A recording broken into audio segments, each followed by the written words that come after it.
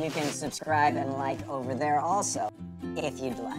Alright guys, thank you so much for watching, and I will see you guys again soon. Bye!